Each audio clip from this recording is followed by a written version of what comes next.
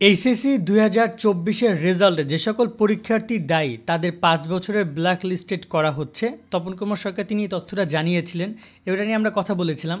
বর্তমানে শিক্ষা বোর্ডগুলো শিক্ষার্থীদের সাথে যেন এক তামসায় জুড়ে বসেছে। যখন বোর্ড চ্যালেঞ্জের রেজাল্ট প্রকাশ করল, তখন শিক্ষার্থীরা হন্য হয়ে তাদের রেজাল্টগুলো খুঁজছিল তাদের রোল নম্বরের মাধ্যমে। আমাদের কথা ছিল বা শিক্ষা বোর্ডগুলো কিন্তু শিক্ষার্থীদের কাছ থেকে যখন বোর্ড চ্যালেঞ্জের টাকা নিয়েছে, তখন কিন্তু তারা এস এম এস বাবদও টাকা নিয়েছে। উচিত ছিল এস এম এস পাঠিয়ে তাৎক্ষণিক শিক্ষার্থীকে জানিয়ে দেওয়া যে তোমাদের রেজাল্ট এইটা এসেছে রেজাল্ট পরিবর্তন হয় নাই বা হয়েছে। কিন্তু তারা তা না করে দেখা যায় সতেরো নভেম্বর, আঠারো নভেম্বর বিভিন্ন বোর্ড মেসেজ করেছে যে সরি এখানে তার নাম লিখেছে যে তোমার রেজাল্ট পরিবর্তন হয়নি। তো এইটা অ্যাকচুয়ালি একটা মস্করা না শিক্ষার্থীরা হন্য হয়ে ওদের রেজাল্টগুলো খুঁজেছে, ওদের রেজাল্টগুলো পায়নি। তারা তার রেজাল্ট প্রকাশে প্রায় দুই দিন, তিন দিন, চার দিন পরে তারা এস এম এস পাঠায় যে সরি আমরা তোমার রেজাল্ট চেঞ্জ করতে পারিনি বা চেঞ্জ হয়নি। এটা একটা মস্করা এক প্রকার। আর এটা যদি রেজাল্ট প্রকাশের সময় দিত অনেক শিক্ষার্থী এই বিষয় নিয়ে টেনশন করতো না, আমি অনেক শিক্ষার্থী দেখেছি তারা হন্য হয়ে দশ বার, পনেরো বার তাদের সেই লিস্টটা চেক করেছে। এই একটা ব্যাপার। আর অবহেলা নিয়ে যদি কথা বলি, অনেক শিক্ষার্থী আন্দোলনের কথা বলতেছে আমাদেরকে। যে ভাইয়া আমরা আন্দোলন করব, আমরা অমুক সমুক করব, তাদেরকে বলতেছি, দেখো, আন্দোলন করে বা এই বিষয়গুলো আসলে এই মুহূর্তে আর মানে কোনো প্রকার অর্থ রাখে না। এগুলো এখন অর্থহীন একটা শব্দ হয়ে গেছে।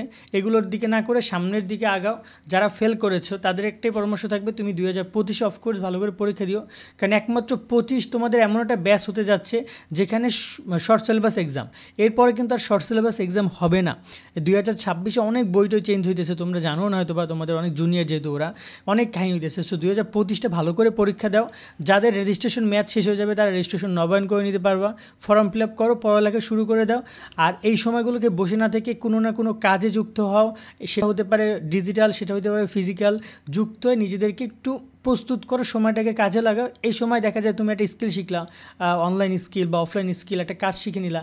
এটা তোমাকে কিন্তু অনেক অনেক হেল্প করবে তোমার ইন ফিউচারে তো দেখা যায় যে তুমি এই জিনিসগুলো একটু মাথায় রাখবা। আর এখানে যে কলেজগুলো বা শিক্ষকদের যে অবহেলার এই বিষয়টি তো রয়েছে। এখানে আসলে কোনো কিছু বলার নাই। এটার বিচার, দেখো, কোনো কোনো কিছু বিচার হয়তো বা দেশে হয় না বা এগুলো আসলে হয়ও না, বোঝানোও যায় না, এগুলো খুঁজেও বের করা টাফ কিন্তু অনেক শিক্ষার্থী যারা যোগ্য, তারা যে রেজাল্ট খারাপ করেছে, তারা যে ফেল করেছে, তাদের যে রেজাল্ট অনেকটাই খারাপ এসেছে, সেটা তো আসলে কারও বলার অপেক্ষা রাখে না যে আমরা বলব, তারপর আমরা বুঝব। আমরা সব কিছু দেখেছি। আমি দুই হাজার চব্বিশ ব্যাচের এসএসসি শিক্ষার্থীদের যতটা পরিমাণে ভোগান্তি এবং ওদের রেজাল্ট নিয়ে যে পরিমাণের অসন্তোষ দেখেছি এবং ওদের সাথে বোর্ডের অনেক, অনেকগুলো বোর্ড অনেক ধরনের অন্যায় করেছে বলে আমার মনে হয়। সেটা আমি দেখেছি, এটা হয়তো আমি গত এই চার পাঁচ বছরে আমি দেখি নাই। আর সামনে কী হবে সেটা আসলে বলার সেটা তো এই মুহূর্তে বলা যাচ্ছে না বাট ভবিষ্যতে হয়তো বা এটা ধারাবাহিকতা বোর্ড রাখতে পারে যদি তারা সংশোধন না করে।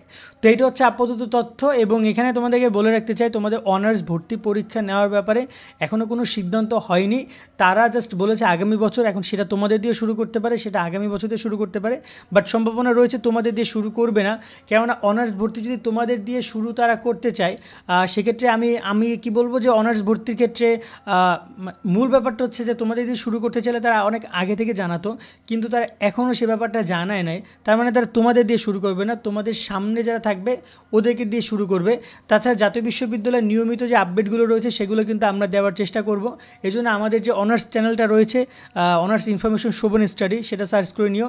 ডিসক্রিপশনে লিঙ্ক পেয়ে যাবা, আমি কমেন্টও দিয়ে দেবো, সেখান থেকে সার্চ করে নিও।